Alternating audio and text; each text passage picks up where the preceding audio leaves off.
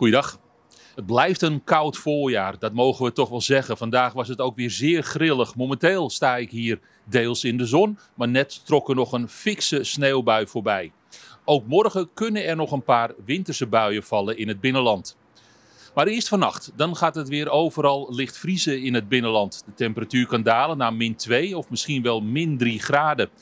Er zijn brede opklaringen en daar profiteren we morgen overdag ook van. De dag die begint vrij zonnig op de meeste plaatsen. Maar geleidelijk ontstaan er dus stapelwolken en in de middag kan er hier en daar een winterse bui vallen. Ik denk dat dat met name in het binnenland zal zijn. Die buien kunnen dus gepaard gaan met hagel en natte sneeuw. De wind die draait naar een meer noordelijke richting in de loop van de dag en is overwegend matig. En ook de dagen erna blijft het aan de frisse kant. Woensdag valt het op zich met de buien wel mee. En op de meeste plaatsen blijft het dan droog en zijn er zonnige perioden.